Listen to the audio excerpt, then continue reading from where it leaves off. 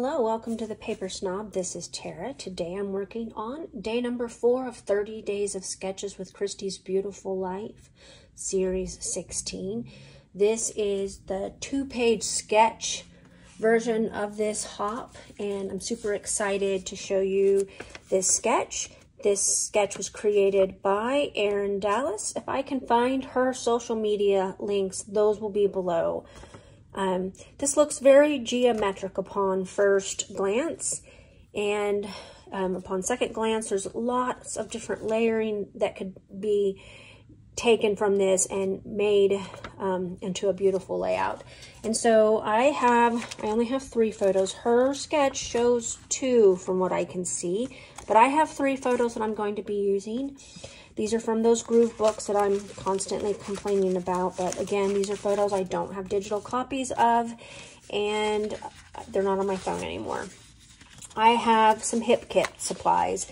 They are, these supplies come from several different kits. Um, these first four sheets of paper, including my background sheets, are from their Kaleidoscope kit. And I'm using the B-sides of both papers because one of them is incredibly ugly. I do not like that piece. It's incredibly ugly, but um, I do, I don't mind the back side. This one's cute. This would be cute to stitch, but I'm going to be using this side. And then I have these light cardstocks. They're um, called, can this one's called Candy Floss, and this is their exclusive cardstock. I'm going to be using the dotted side. I have this piece from Hip Kit, and I don't remember which kit this is from. Happy Days With You is the name of the collection. So I have that piece, and then I have a bunch of It's a New Day um, of embellishments from one of their back-to-school kits.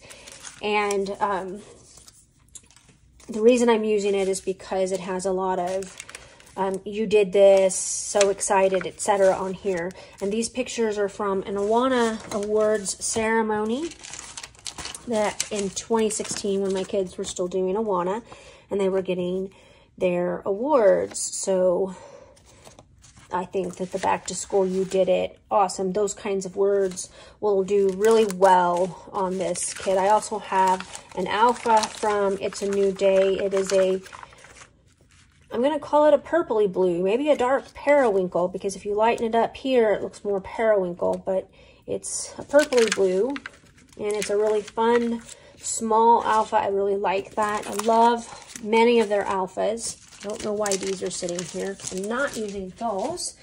But I'm going to pause. We're going to get started with this. And let's see how this comes together. I'll be right back.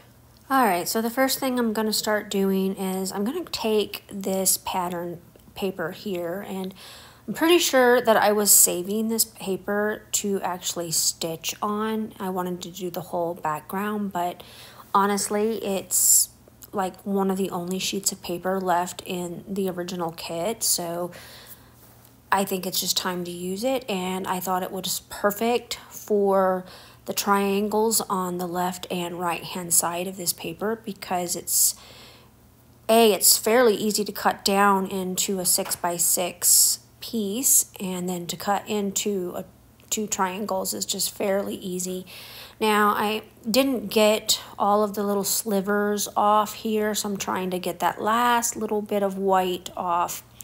And now I'm going to use my trimmer to go ahead and um, cut it down. But first I'm going to tape it to my trimmer on one side with washi tape. By the way, if you do this, make sure that you put the washi tape on your skin or on your leg first because it took off a little bit of the pattern paper because I didn't do that. And I absolutely know better. I don't know why I didn't. So now I'm going to cut the um, purple piece down into a 6 by 12 so that I have two 6 by 6 pieces. And I'm going to do that again with this neon yellow piece. And of course I've got a kitty cat in the way as always. So I took some of the pattern paper and I went ahead and used a Spellbinders um, decorative circle die to cut the circles. Now I'm taking a piece of the orange cardstock from Kaleidoscope. I didn't have this at the beginning of the video because I miscalculated. I thought I might use the back of the striped piece for the rectangle squares, but it was really just bringing in another color that didn't go well. The kind of minty green just didn't look great in my opinion. And I didn't think that I could pull out that color from the embellishment, so I decided to bring in the orange since it's in the um, striped paper down on the corners. I'm also kind of just playing around with this off camera when I go to glue things down, I will get my Omnigrid ruler out and I will make sure things are lined up a little bit better so that they match. So this that's the base, that's kind of what it's going to look like. I matted two of the photos with some scraps of white cardstock. I thought that that would help them stand out a little bit better on the background because this background is very bright. These photos are very dark because they came from those groove books. And um, I'm going to use this frame and it's going to go right on the same tone of pattern paper, which I think is kind of funny because the frames are actually from two from a different collection by Hip Kit. And I think it's great that it matches as well. The labels are from Freckled Fawn, and I believe those labels are actually in my October counterfeit kit. Probably for the yellow I just used because the other colors aren't necessarily in my kit. But, you know, sometimes I like to just throw a whole pack of labels in there and then use what works with my kit and then kind of put them away at the end of the month. Um, if you follow me, you know that I have what I call a label binder, and it's where I keep all of my labels. I will pick apart a kit or anything and I will put my labels in that binder because that way they get used and I do dig through that binder quite often. So I have a whole bunch of little leaves that I pulled from A New Day embellishments. Again, this collection, I have mostly embellishments left, and I have only one full piece of pattern paper and a scrap. I've used almost all of it, but I have a ton of embellishments left, so it works that I'm able to use a lot of embellishments here on this layout. So I'm titling this What an Impressive Win, and I don't know if you're familiar with the Awana clubs.